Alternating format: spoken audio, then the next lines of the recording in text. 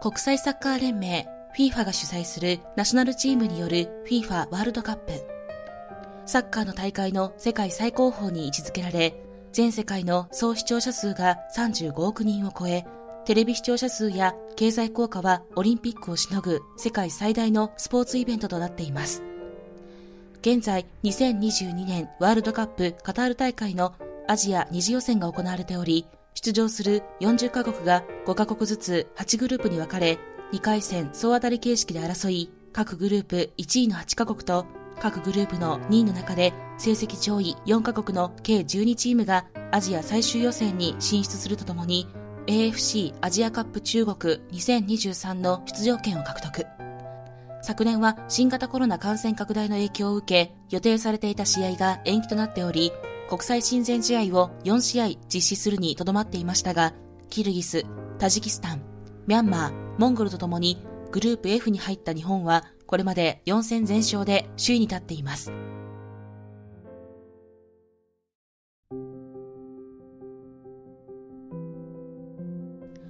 今回は先日行われたアジア二次予選のモンゴル戦についての話題からです。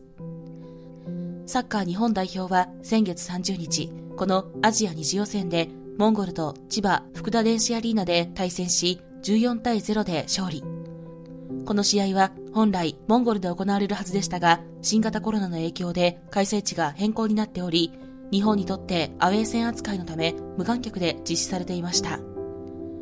モンゴル側からすれば大敗と言えるわけですが、そこには次々に失点を重ねながらもラフプレーに走ることなく最後まで戦い抜くモンゴル代表の選手たちの姿がその姿勢は日本のネット上でも話題になり、SNS などでは称賛の声が数多く寄せられています。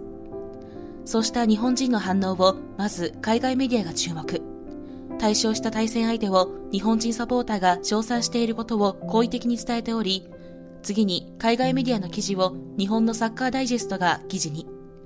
さらにその記事をモンゴルのテレビ局のディレクターさんがシェアし、日本人の声がモンゴルの人々にも届くことになりました。最後まで戦い抜く姿に美しさを見出し、賞賛を送る日本人の姿勢に、モンゴルの人々から感動の声が殺到。日本人はその人の技術や経験がどんなに未熟でレベルが低かったとしても、一生懸命になっている人を馬鹿にせず、そこに美しさを感じることができますからね。寄せられた反応をご紹介しますのでご覧ください。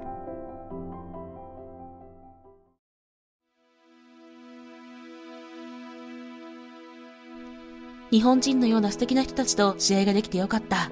こういうニュースは本当に心が温かくなる。いいニュースだな。読みながら泣きそうになっちゃったよ。なんて素敵な交流なんだ。確かにモンゴルは大敗してしまったけど、練習施設もトレーニングも大きな差がある中で、選手たちは心を燃やしてよく戦ってくれたよね。俺はモンゴル代表のことを全く恥じてないよ。モンゴル代表の戦う姿勢が日本人の心を動かしたんだね。そしてそのことが世界を驚かせたようだ。日本とモンゴルの民間交流を促進するための試合だったのさ。素晴らしいメッセージを送ってくれた日本にグッジョブ。この日本人の振る舞いこそ教養というものじゃないかな。私たちも日本人のいい面を学んでいきましょう。なんて素敵な姿勢なんだろう。だからこそ俺は日本人のことが大好きなんだ。正直言ってひどい試合だったと思うけど、こんなポジティブな感情にさせられるなんて。大敗したことを罵ってたモンゴル人もいたけど、モンゴルが二次予選まで行ったのは初めてのことなんだぞ。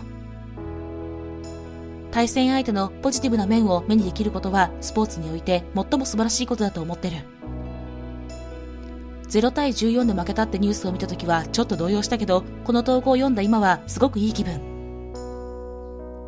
負けたけど選手たちを誇りに思う。それに世界のレベルを知れたことはきっと財産になるよ。モラルを失わなければ本当の意味で負けることはない。あれ？もしかして俺いいこと言ったかも。これが日本人なんだよ。あらゆる面で彼らの振る舞いは一流なんだ。なんか日本人とモンゴル人の差を感じてしまったよ。人間性を含めて日本人は本当に立派な人たちだ。日本人の態度や振る舞いって大抵いつも正しいよね。私は日本人のそういう面を尊敬してる。もちろん試合の結果は残念だけど。負けてなお、喜びの感情を抱けるとはありがたい。個人的に世界で日本ほど立派な国は他にないと思う。日本人はモンゴル人に対する接し方が他の国民とは違うよ。すごく敬意を払ってくれるんだ。日本人から学べることは数多くあるね。そして最後の最後まで諦めることなく戦い抜いた我々の代表を誇りに思う。元気をもらえる素晴らしいニュースだった。紹介してくれてどうもありがとう。日本人は他人のいい面を見出すことができる。素晴らしい文化であり、マナーじゃないか。